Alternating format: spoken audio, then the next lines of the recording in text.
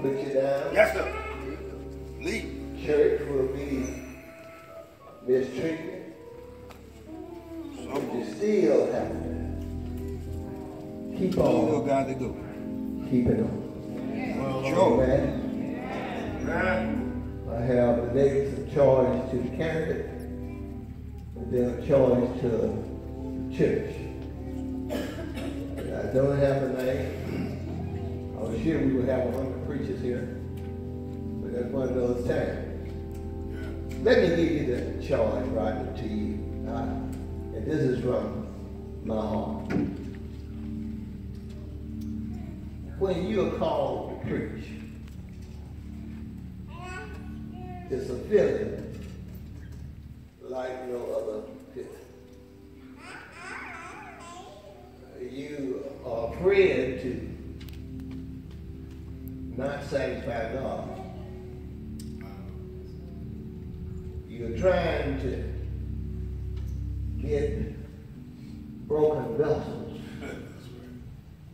to come and hear you. You said on last night, your friends stopped calling. And a lot of times, you're just like the Maytag man. You're the loneliest man this is what I want to tell you.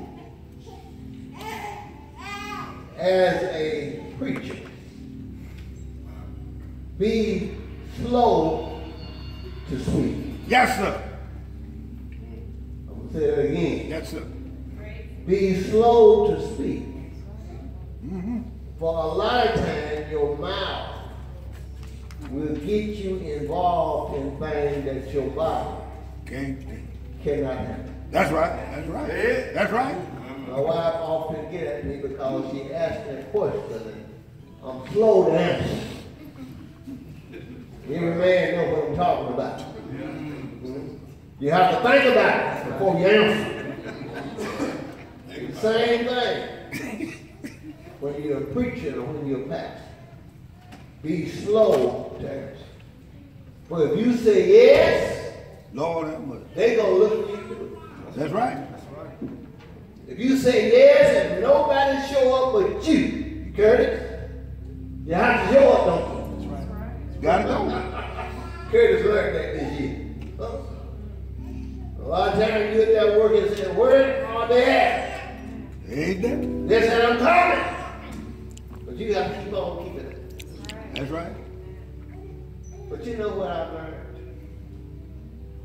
For every time I've been alone, I've always had company. God have always shown. You've always been there. The way he said. And I can have a better conversation with Jesus and the Holy Spirit than I can with any man. I can get excited. Just him time, I'm on the bike pouring. I said, this obviously that went crazy. No, no, no. That's crazy. Jesus just showed me something. And you get excited. And you don't want to share it with the world. That's right. Get That fire